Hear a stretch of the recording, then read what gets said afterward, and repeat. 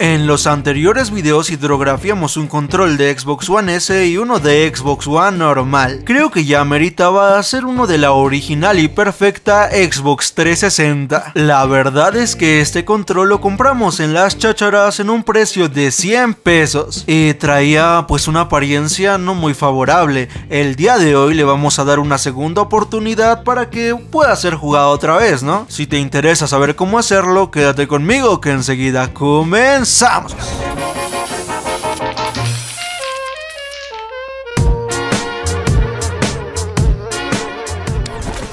Bueno, este control de Xbox 360 está totalmente funcional. Lo compramos en las chacharas hace algunas semanas. El día de hoy pues vamos a darle una segunda vida al control para que sea utilizado por segunda vez y tenga la mejor apariencia del mundo. Como saben, como pueden observar en la cámara, eh, los capuchones que son estos plastiquitos acá con los que manejan los joysticks ya están desgastados, están como cambiados de color y en sí les ha pegado mucho el tiempo, así que también se y aparte de dar una apariencia igual se limpiará por dentro, así que vamos a empezar. Ah, y antes de empezar con el video, recuerden que hay una dinámica activa con nuestros amigos de Cost TV, donde podrás ganar más de 200 dólares en premios. Lo único que tendrán que hacer es subir un video a la plataforma con el hashtag CostGamerParty. Y sí, tiene que ser contenido gamer, obviamente, la palabra lo dice. El video tiene que cumplir ciertos requisitos, como durar más de 2 minutos. Los requisitos los dejaré en un link en la descripción de este video. Ah, y algo, yo también participo participaré, así que si me gustan apoyar con ir a mi canal y ver mi video, se los agradecería mucho. En esta dinámica también podrán ganar premios tanto los creadores de contenido como los usuarios que los apoyan. De hecho, ahora mismo que estás viendo este video, un usuario ya ganó 20 dólares y 10 dólares aparte en lo que sería Google Play. La próxima semana será igual, así que ¿por qué no participas? Si me apoyas igual y te ganas algo. De momento vamos a ocupar estos destornilladores que nos dieron nuestros amigos de Game Clinic. En sí estos destornilladores están de boca madre la neta. Aquí nos incluye lo que serían los de Nintendo, las entradas de Xbox. En sí con estos ya tienen básicamente todo. Estos son para la GameCube, ¿eh? Apenas me voy dando cuenta. Yo la neta ya estaba pensando en comprarlos para la GameCube que vamos a hacer, pero pues ya vienen ahí. Así que vamos a desarmar el control. Si ustedes quieren conservar la etiqueta, consérvenla. Yo la neta siempre la rompo. Ahí le hacemos un hoyito y sale completamente solita, miren. Vamos a empezar el desarmado.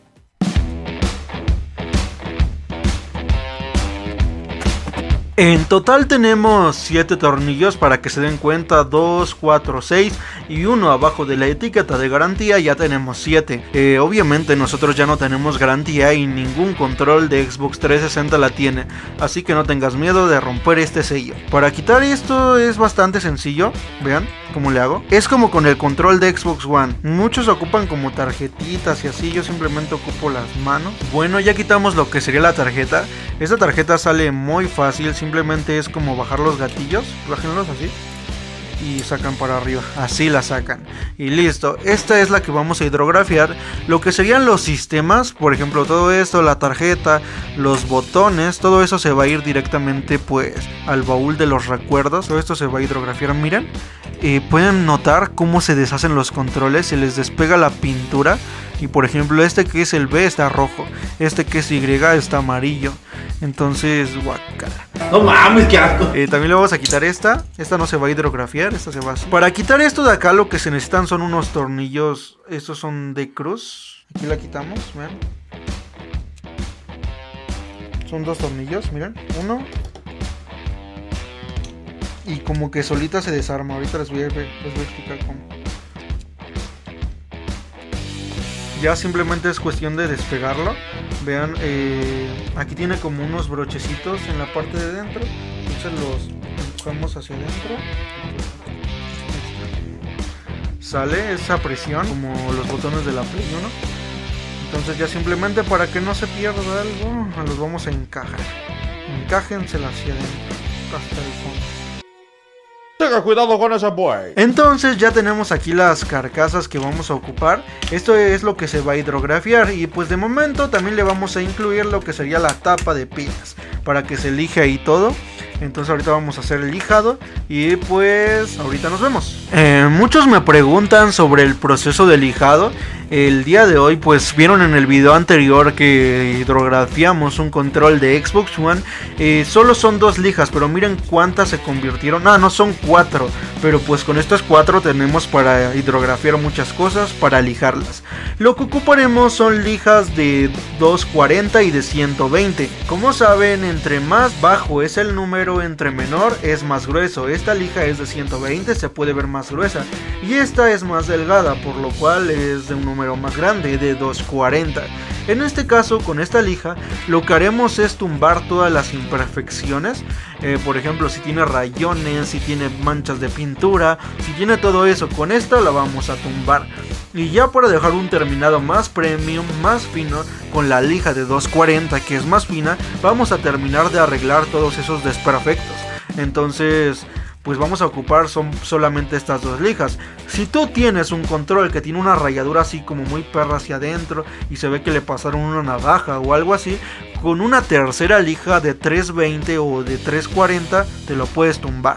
Y listo, pues ya vamos a proceder al lijado. Como pueden observar de fondo estábamos viendo Breaking Bad porque sí es un proceso demasiado tardado. Y siempre se los he dicho cuando explico el proceso de lijado, aquí no hay que escatimar en tiempo, te recomiendo que te estés pasando unos 5 a 10 minutos con la lija de 120, cuando sientas más o menos liso y todo eso, empieza a pasarle la lija de 240 y cuando lo sientas por completo liso tu pieza es el momento de parar de en este caso, como teníamos que lijar y estuvimos alrededor de dos horas o incluso más de lijado, eh, no lo expliqué en el momento porque obviamente eran demasiadas piezas. Así que pues ya una vez tengas lijada tu pieza, vamos a empezar con el proceso de la hidrografía.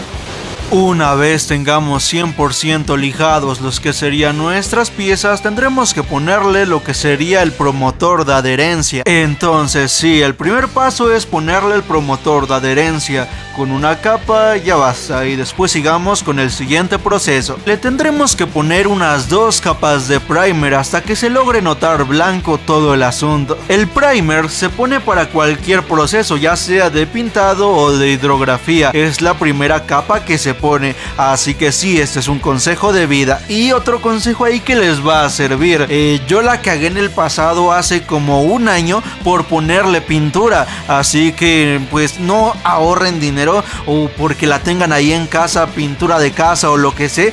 No, es muy difícil que sea compatible. Yo les recomiendo mejor comprar el primer. El último proceso que tendremos que hacer será poner la película en el agua. La tendremos que dejar reposar alrededor de un minuto, depende Ustedes van a ver, depende la temperatura del agua, cuando es que la película se empieza a, a ver preparada. O sea, ustedes van a notar cómo se ve la textura de la película antes y después. Se nota a simple vista, así que esténla viendo. Les digo, es aproximadamente un minuto. Una vez ya haya dejado reposar, le tendremos que poner el activador. El activador es lo más importante. Si, si directamente la sumergen, no va a pasar nada. La forma en la que hay que meter las piezas es una forma uniforme.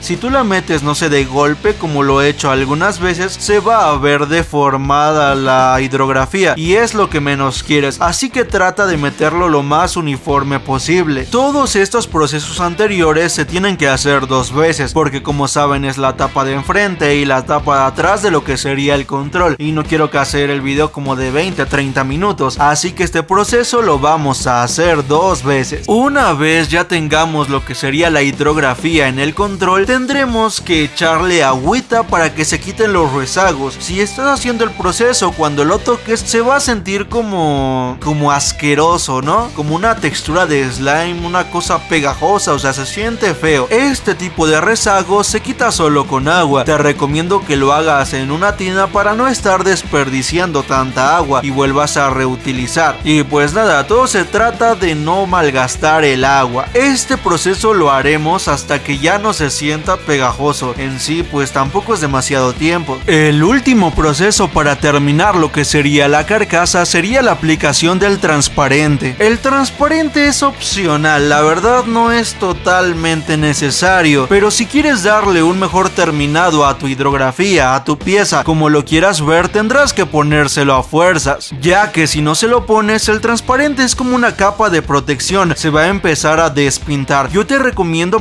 alrededor de 3-4 capas de transparente y le vas a dar un terminado bastante profesional. Y bueno, miren nada más que chulada, ya está el control, mírenlo, el transparente con la aplicación, todo está luciendo a toda madre, la neta se ve demasiado bien. Y antes de continuar con el proceso, le quiero dar un agradecimiento a nuestros amigos de Water Transfer México que nos dieron todo el apoyo, nos han estado asesorando para que nosotros los asesoremos a ustedes. Así que mil gracias a ellos.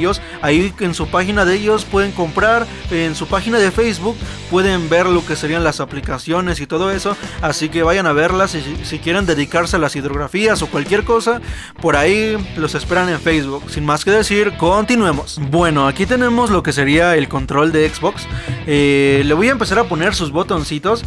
Miren, eh, primero le voy a poner los LB. Voy a empezar a ponerle los botones. Voy a poner una cámara rápida para que se vea bien el proceso.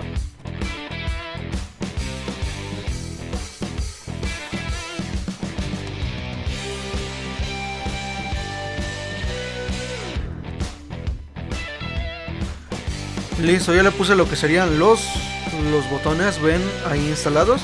Voy a proceder a poner lo que sería la cruceta.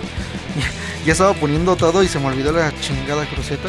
Ahora vamos a poner los capuchones. En este caso son totalmente nuevos y blanquillos. Son que digan negros, perdón.